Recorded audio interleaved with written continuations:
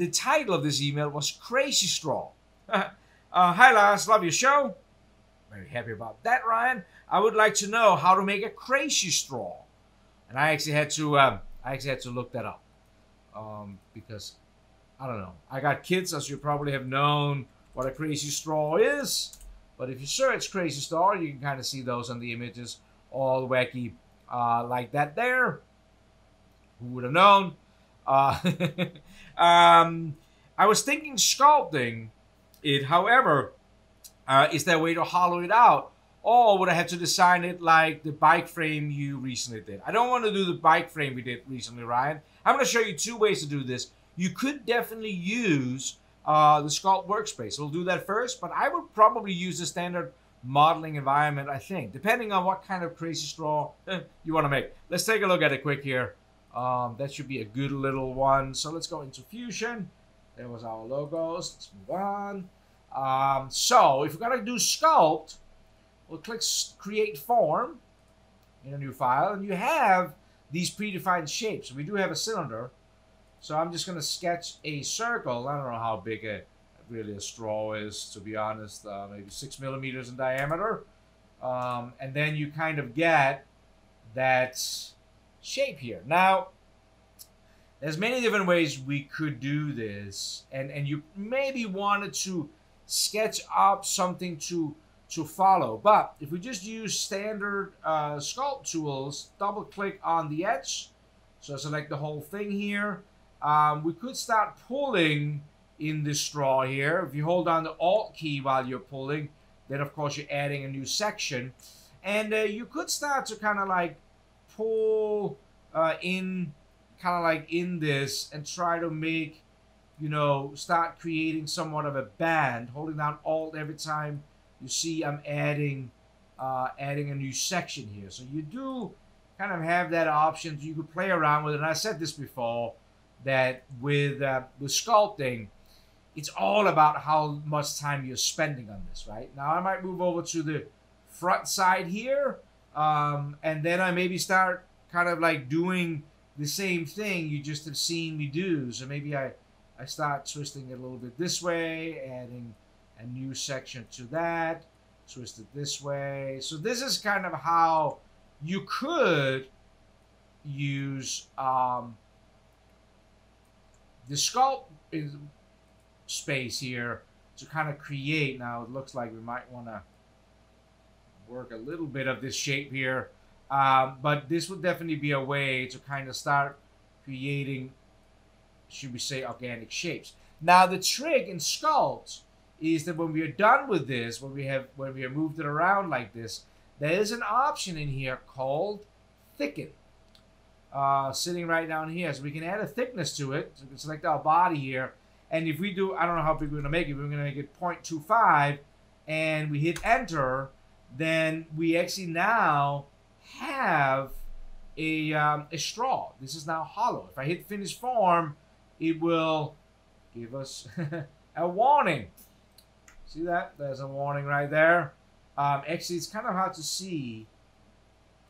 Um, if I hit there, you can see that it shows up in red that there's a warning. And that's actually because there is some overlapping geometry there.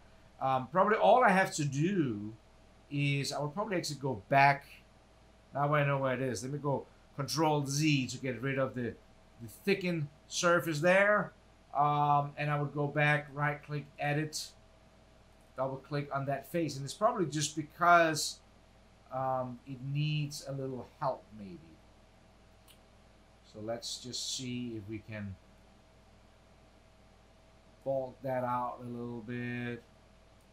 It might just be, it's getting that intersection there. Let's try that. It might not be. So this is something you would have to to play with, and probably also why I would not be doing uh, it like this. But if that's what you want, there we go. Now it became a solid, right? Now we're back in the solid environment, and you have a straw, and you could you could go crazy, um, do this or anything. So that would be one way. Now another way to think about this would be standard, um, a standard kind of modeling environment. So let me go in and uh, you could, for example, do something like a coil, use the coil. So if I click coil and uh, let's do another straw over here. Um, and we drew that six millimeters. Well, actually, this is going to be bigger. Uh, let's make it maybe a 100. Like that. So here is a coil. Now you can see this could be maybe considered, um, you know, already having that that shape. And you have some different options in here.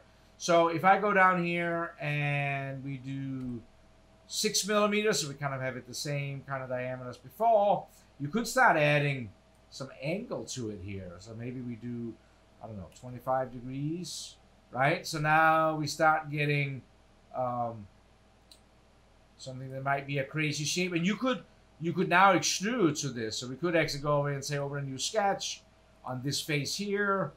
Um, and we could now draw something. I think I did it on this face here. P for project.